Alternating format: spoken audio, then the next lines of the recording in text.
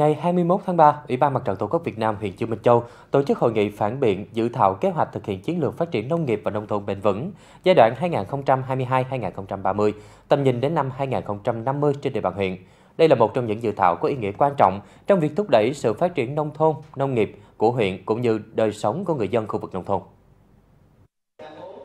Theo đó, dự thảo kế hoạch gồm các phần mục tiêu cụ thể của chiến lược phát triển nông nghiệp và nông thôn bền vững đến năm 2030, tầm nhìn đến năm 2050, những định hướng, nhiệm vụ phát triển nông thôn bền vững, các giải pháp chủ yếu để thực hiện chiến lược phát triển nông nghiệp và nông thôn trong từng giai đoạn, từng năm cụ thể.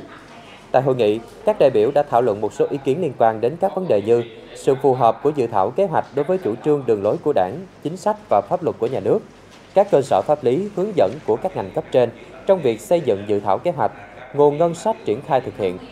Phát biểu kết luận tại hội nghị, ông Huỳnh Trung Tài, Chủ tịch Ủy ban Mặt trận Tổ quốc Việt Nam huyện Dương Minh Châu nhấn mạnh, mục tiêu của huyện đến năm 2030, tầm nhìn đến năm 2050 là phấn đấu đưa Dương Minh Châu trở thành huyện có nền nông nghiệp tiên tiến hiện đại, sản xuất có hiệu quả và thân thiện với môi trường, đời sống người dân nông thôn không ngừng cải thiện và nâng cao, thu nhập dân cư nông thôn tiệm cận và kết nối chặt chẽ hài hòa với đô thị.